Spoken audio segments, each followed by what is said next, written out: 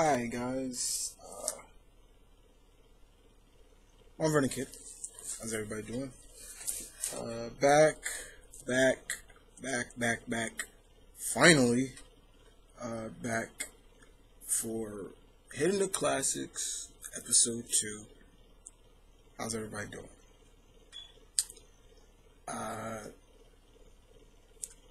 as always, Hitting the Classics is where we take trip down memory lane of various titles from yesteryears. Um, and I pretty much talk about them, pretty much review them like I do my current reviews, things like that. Like a retro review, if you say. But I twist, I give it a new, different name called Hitting the Classics. Um, always will be 1 to 12 books that I talk about, and I go into my collection and look for some things to talk about. So I finally was able to get my my uh, stat that I wanted to talk about, and we have titles from Top Cow, uh, Dreamwave Production, and DC and Marvel actually. So uh, let's kick it off with the classics. Uh, from uh, we'll start with Indie, and we'll go Top Cow. Um, and that's none other than uh, the very good series that I, I was really loving this series, and um, it's called Hunter Killer. Uh, this is actually written by Mark Waid, artwork by Marc Silvestri, so you know you're getting some good, damn good artwork with him. Uh, like I said, I enjoyed this series very much. It was a really cool series. Uh, Mark Waid does a very good job writing this, um, and you could see from the get go, he kind of always had that magic. Um, hence, that's why I call him Mark Magic Waid. Uh, the story of this series um, of Hunter Killer. This is issue one, though. Uh, that that's one of the main characters on it. His name is Wolf. Um, it's basically think of think X Men but to the kind of to the 10th power and also basically the fact of uh, what if really the government and shield and all of them really came down hard and was trying to eliminate mutants? But in this world they're called ultra sapiens. Um, but this was a really good series. Uh, let me just show you some of the artwork that you can see. Uh, like I said, get a good look at some of Marc Silvestri's uh, artwork.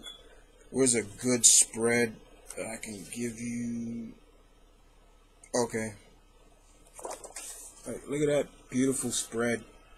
This big page of that's just really good artwork. Uh, like I said, Mark Waid did a very good job, in my opinion, with this.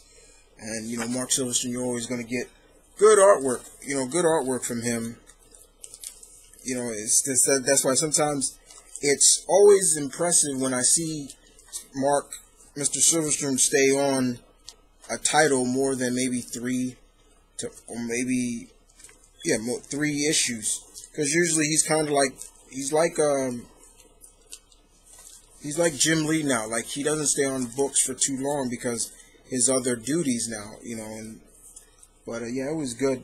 This came out back in uh, when was this? Two. Let me make sure. This is a. I think this is a 2000 C series. Um. Yeah, 2005. 2005 series. So under Top Cow Image. Uh, I do recommend you finding this, and I can't get this thing back in the book. Sorry. Uh, I do recommend if anybody wants to check this out, it's Hunter Killer. As you get a good look at the title, it's not Hunter and Killer. It's called Hunter Killer. Uh, Mark Waid. All right. So we move on to uh, Dreamwave Productions. This was a, a very this company. I don't think this company's even around anymore, but yeah. And at first, Dreamwave Production had the Devil May Cry uh, series, and you get that good, lovely uh, cover done by the late great Mark Tur- Michael Turner. Um, and you got Trish on the cover, and my Dante, yeah, classic Dante, the real Dante on the cover. Pat Lee does the artwork in this, and he does a the artwork is just beautiful in this title. And basically, all it is is a, a comic book version of the first game. That's all it is. That's basically with some added bonuses to it. Um, you had uh, what was his name? Mark, I think Mark Meek, who does the the writing. Brad Brad Mick, who does the artwork, and we get to see some great artwork. Like I said, from Pat Lee. Look, there's some great artwork of uh, Sparda fighting Mundus. Um, just beautiful artwork here. You can just see it for yourself. Beautiful. Um, and then, like said, like I said, you know, it gets. Then later on, it gets it, it turns to uh, uh, Dante and things like that. Um, this came out once again. Yeah, this was a 2000 book. Um, as you can see, I'll show you some some Dante artwork. Mm, well, there's a good spread of Pat Lee's Trish right there. You can see uh, Trish right there, and Dante. And of course, like I said, it was just a pretty much a a uh, a, a comic version of the first game. You, see when Trish throws the, his her motorcycle at Dante and stabs him with his sword, and he pulls it back out, and you know things like that. That's all it was. But it was fun. It, I don't think this series this lasted too long because I think the company uh, went out of went out of uh, business. I think, but uh, you can tell this is old. I mean, it's, it's it was three ninety five. When's the last time you saw a three ninety five book? Uh, but yeah, it was. This was fun, um, and like I said, it's it's always good to see the original Dante. All right, so moving on to DC guys. Um, Batgirl number sixty four. Uh, this was the uh, uh, the a two part story arc between a fight, pretty much a fight between Cassandra Cain Batgirl. This is Cassandra Cain's uh, run and Ravager. Pretty much, this is uh, Rose trying to get the approval of her father. So, basically, in a sense, basically, go after one of Batman's, you know, disciples and that was uh, pretty much uh, Cassandra Cain Batgirl. Uh, the first part of it was uh, it, the first part of it. I'm trying to remember who who wrote this. Uh, and Andersen Gab, Gabr- Gabrych, and the artwork is done by L.A. Garza. And in this we get a a fight between Rose and Batgirl. Uh, it was really it's really something to see Rose try to get the approval of her father, but in this issue, Rose gets her ass handed to her by Cassandra. Um, just showing it, it. This issue shows truly, and this was the second part of this story arc, um, that Ro- uh, Cassandra was Rose's better, and she had and she wasn't an equal. Um, and she literally just drops Rose back to Deathstroke and was like, "Yeah, here." She Rose uh, Cassandra would have was gonna kill her, but she she didn't because she was remembering the things that uh, you know Batman taught her. You know, she, like I said, and it was really good monologuing you know, of, of how we are to look at Cassandra of the she could have fallen in the path of her mother, who her mother is Shiva, and her father, you know, so who was also an assassin. So, and so she's on that line. The one thing I've always liked about Cassandra's Batgirl run was she she really followed that line of black and white, and you know, that really that line. Like she can cross it anytime she wanted to. Like she can go full out killer mode or not. But uh, yeah, this was a good series. I I did enjoy this issue. Um, like let me show you. Um, I mean, she does something like to Rose in here that that she didn't kill her, but she does something in here. Like I, will just I'll show it to you. Look at that. She stabs Rose right in the throat with her own sword. And, you know, Deathstroke is like, you know, I'll kill you. And, and, uh, Cassandra says, no, you won't. It's her job. As long as she's alive, which is about another 10 minutes, unless you save her. So it was kind of interesting to see that, you know, she went there, she went to that limit to kind of, in a sense, showcase. It also kind of showcased, you know, does Deathstroke care about his children? And in this, you actually saw concern when that happened with uh, Rose. But, but uh, with all due respect, and well, I shouldn't even say respect, guys, because this is pre 52. None of that shit never happened. Yeah. Hence why I have a big problem with the new 52. I have a love rate hate love hate relationship with it. Uh, so we move on to Nightwing number 100. This was the 100th issue. In this issue, this was literally kind of in a sense, yeah, the, the whole, this whole cover kind of explains it, you know, breaking up is hard to do. Uh, it kind of was, in a sense, uh, in the last issue, Tarantula here uh, killed somebody, and Dick just watched it happen. So this is him coming to terms with, you know what? I have to live up to, even if I do care for you, you have to, I have to bring you in. You did kill somebody. And I, I stood there and watched it. And you got to, and in this issue alone, Dick is still covering from an injury he suffered before uh, and uh, it was it's always good to see Dick in the classic Nightwing, not the red but blue. Um, it was it's good to see uh, the the the name Blüdhaven. You know, when was the last time we heard Blüdhaven?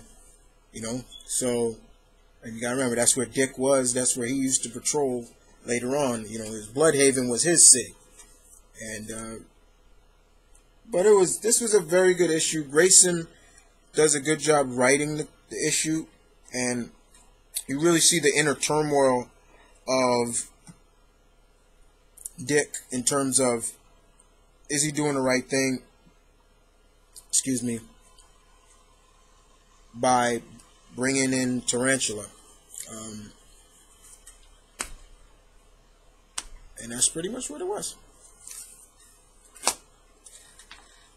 Ah.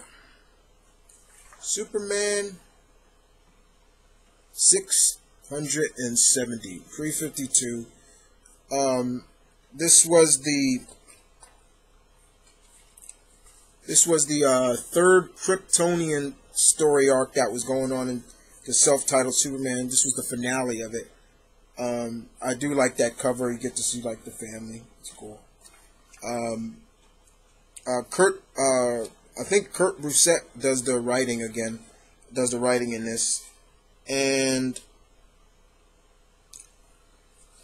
the third Kryptonian story arc was interesting because we got to see that there was another Kryptonian.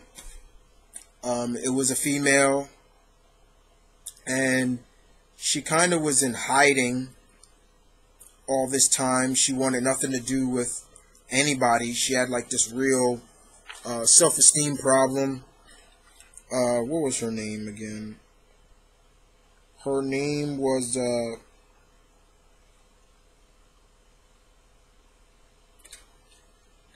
Carista. Yeah, that was it. Karsta, or I think I'm saying it right. Uh, and someone from her past is coming out there. This is what she looks like. Get a look at her right there. This girl right here.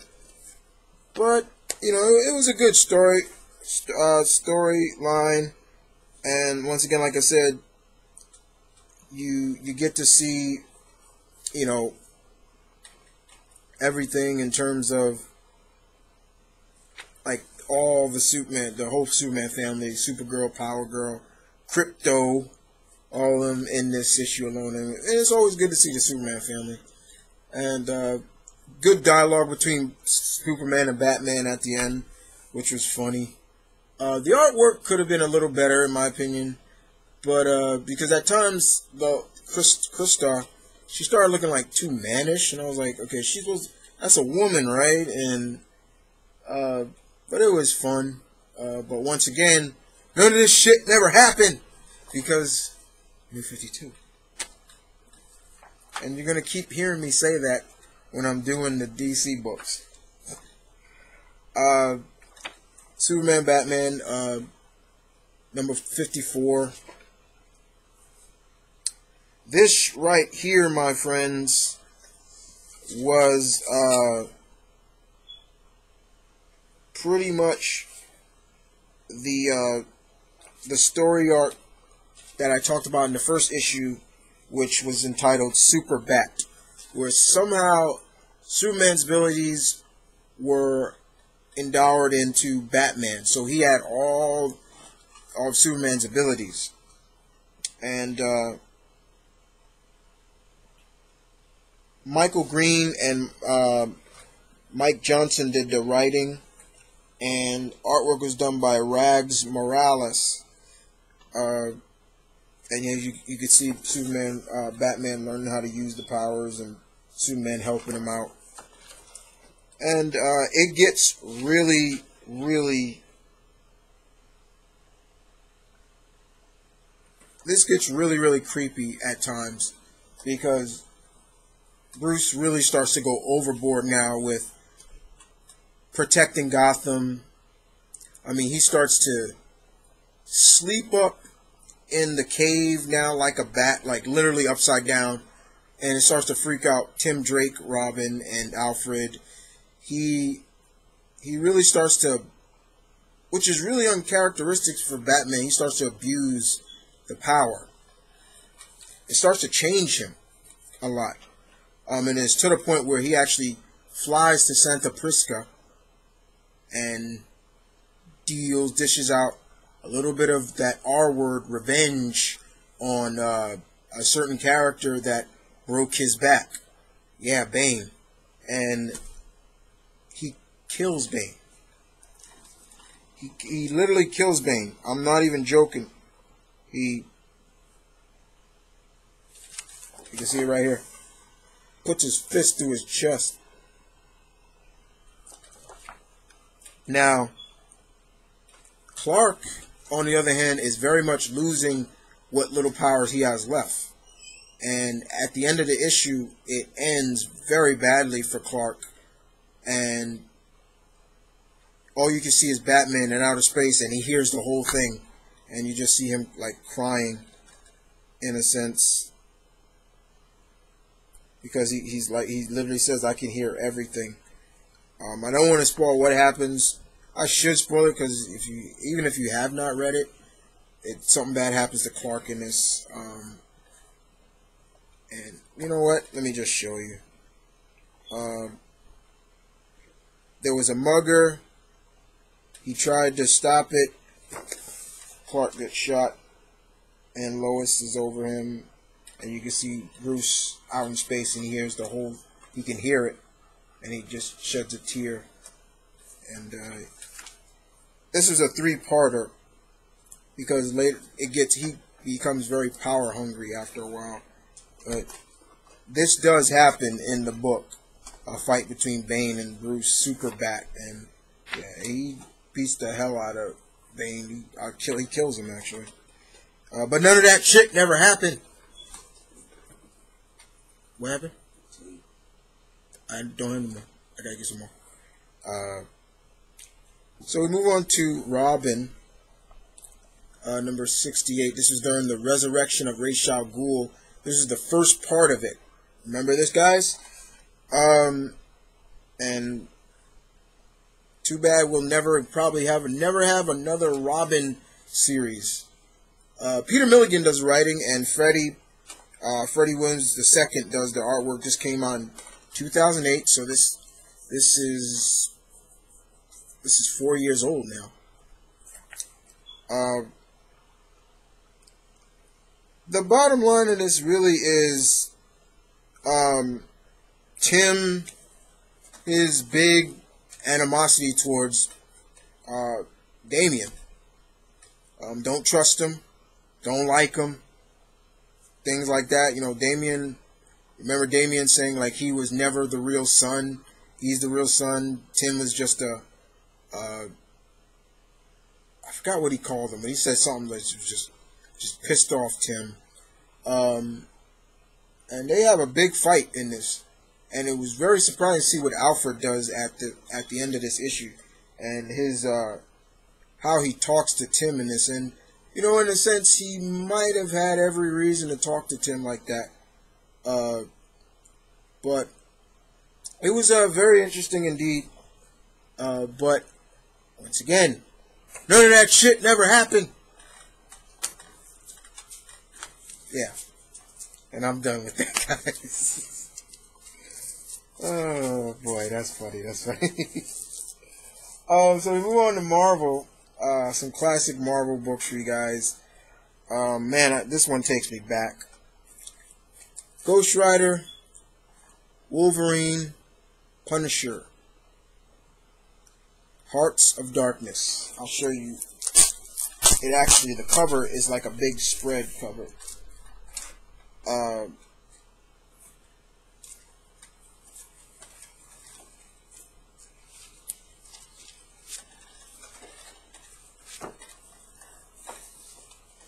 if you can see that, it's yeah, sorry. As you can see the cover spread, it's Punisher, Wolverine, Ghost Rider, uh, Mephisto, and uh, Blackheart. Um, Howard Mackie does the writing, and um, John Romita Jr. does the artwork in this title. Uh, basically, an, a cult in a small town Southwest Town uh, makes a deal with the devil, Mephisto, or I should say, makes a deal with his son. And John, it's not Johnny Blaze, it's Dan Ketch rides into this town just looking for some, you know, he heard about this and he realizes that he's not the only one that was there. He goes to this outhouse, you know, this, you know, house in house, you know, and he sees people, you know, other tenants there that are, you know, like uh, guests in the town. Wolverine, Punisher. He knows them all. And um, it's basically all about uh, Blackheart using the innocents, children, or people of this town to do his, his bidding. He's still trying to almost literally uh, overthrow his father as the Hell Lord. Um, and I'll just show you some of the artwork in here. Uh,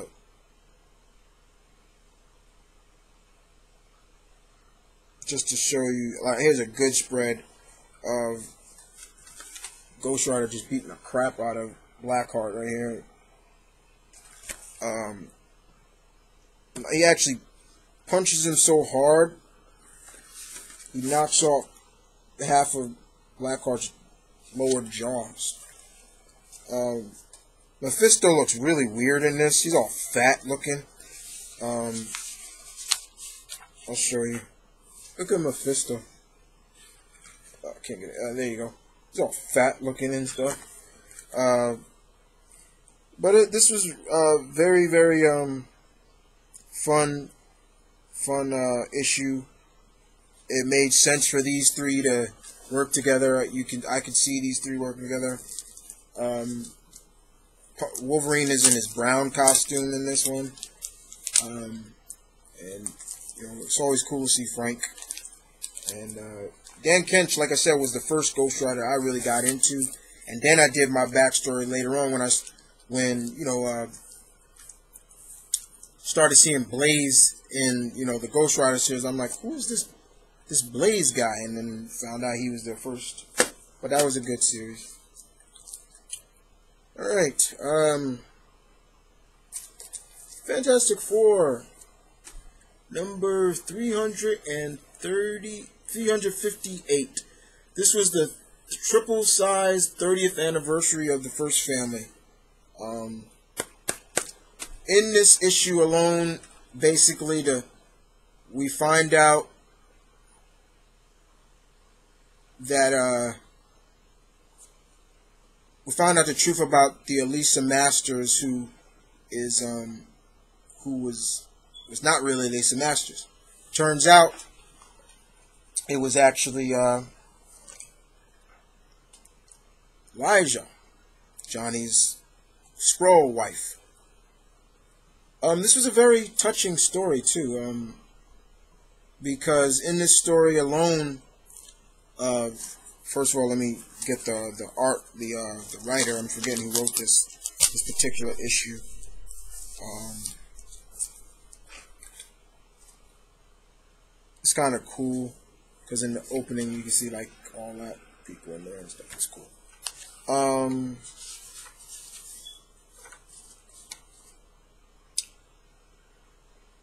Tom DeFalco did the writing, and Paul Ryan did the artwork.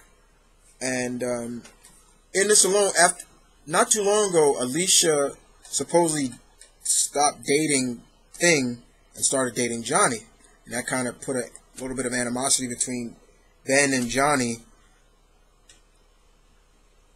And uh, we found out later it was it wasn't Alicia. It was actually Elijah who was in disguise. She worked for Paibok. For those who don't know who Paibok is, he was the excuse me, he was the Power Skrull. He was the, he was just like Super Skrull, but instead of having Fantastic Four power, he had all the powers of the original X Men. Um, and this was a very, very sincere, like love story as well, of showing that Elijah did love Johnny. She she does love Johnny. Over the course of being in disguise as Alicia Masters, hence yes guys, Alicia is not dead. She did not die in this. Um, Elijah really started to fall in love with Ben with Johnny and she wanted to be with him. She she she really started to adopt that maybe the Skrull Empire is wrong, you know, I enjoy being on Earth and I enjoy being with this man and things like that. And they even go so far as to going to go rescue Alicia from Paibok and the rest of the Skrull Empire that was about to invade Earth once again. Um, and Elijah does something very courageous in this that really proves that she did love uh, Johnny and uh, it, was really sad because Johnny even says, you know, he he loves her too. It was really sad um, to see that. Uh, but like I said, and then of course they, as part of the, um, as part of the uh, the story, as part of that was just the story, but it was a continued story then the other stuff they would show like all the like gallery of people who became really big in Fantastic Four, like Last Star has a picture of him, uh, Annihilus. Uh, here's a image of uh, them fighting the Molecule Man. Um, and uh, Rama-Tut and Doctor Doom and then later, and then uh, after that, we get an in depth into you know some of the you know the Fantastic Four. You know, Mr. Fantastic talks about himself and his powers, and Sue talks about herself, and Thing talks about himself, and talks about how strong he is, how much he weighs.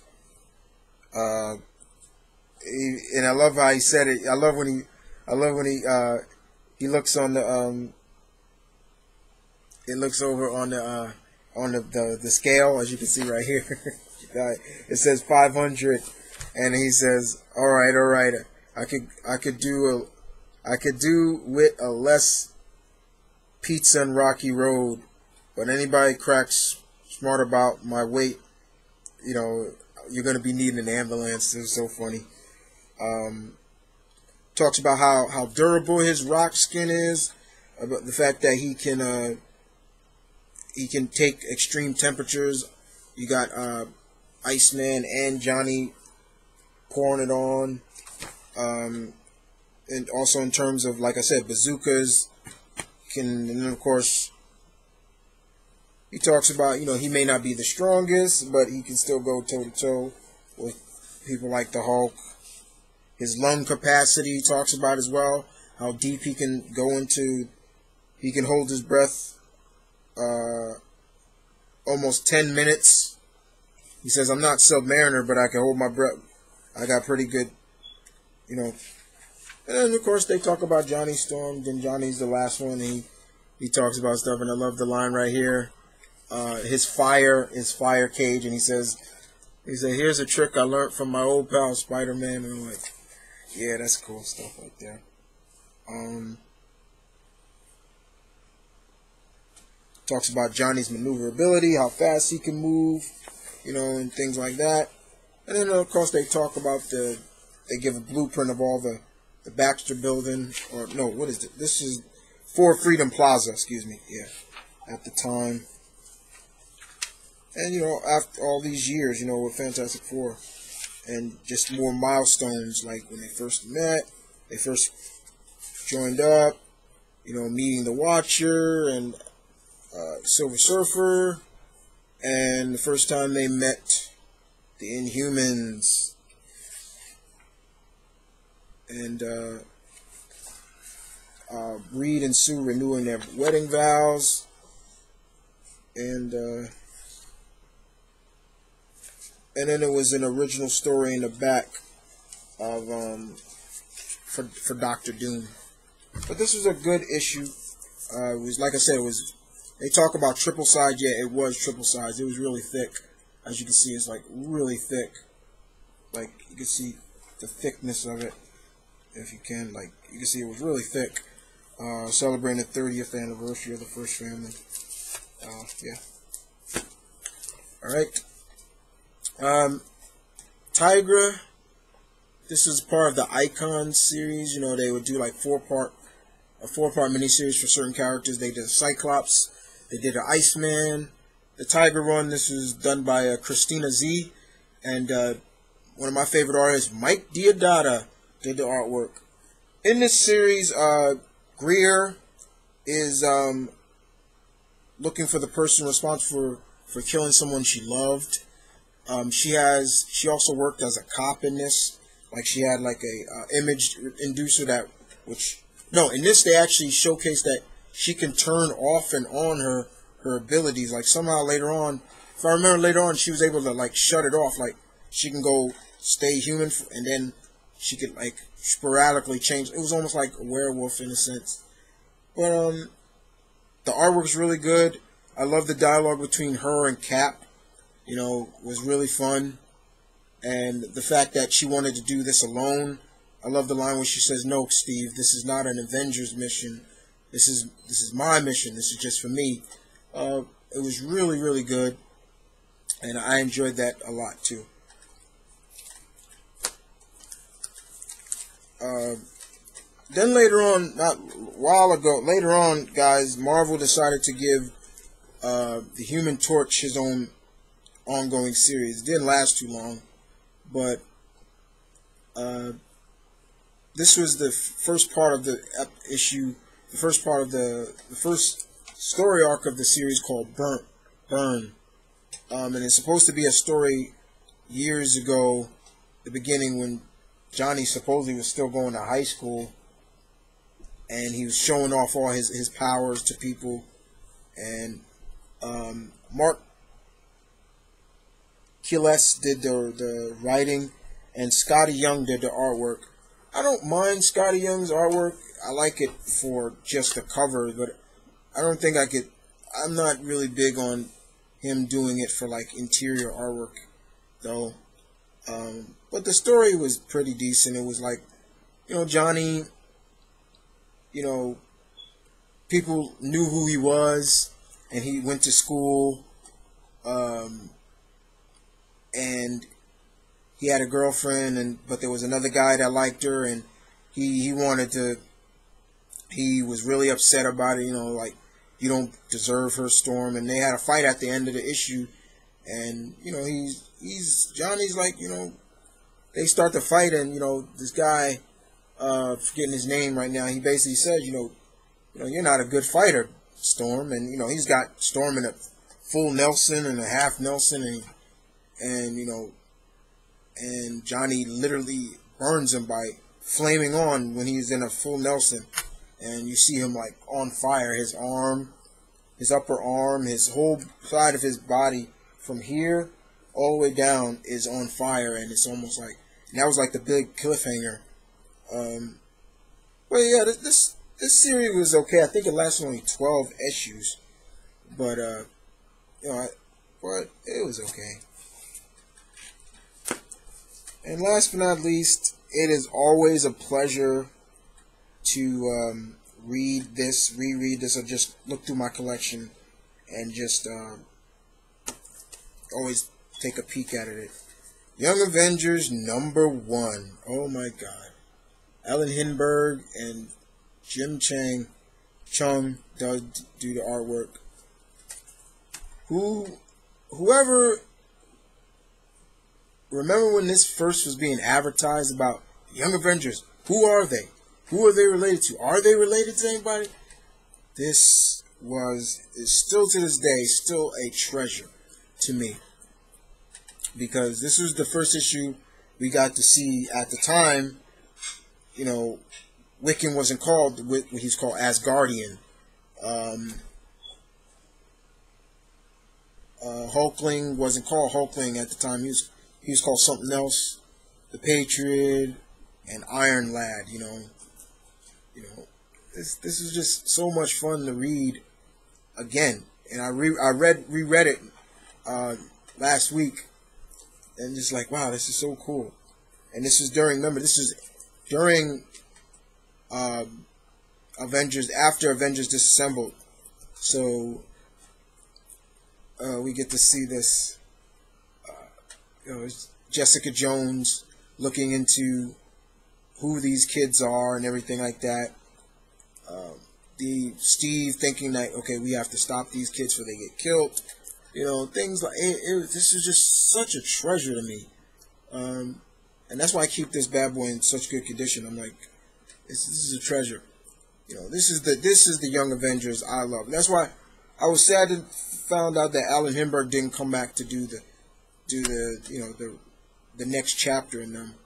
I'm hoping he comes back someday to write the Young Avenger because I think he's one of the few Young Avenger writers that I trust. Um, but uh, yeah, this this is really good. All right, so uh, there you have it, guys. Um, a trip down memory lane for uh, you guys once again for hitting the classics.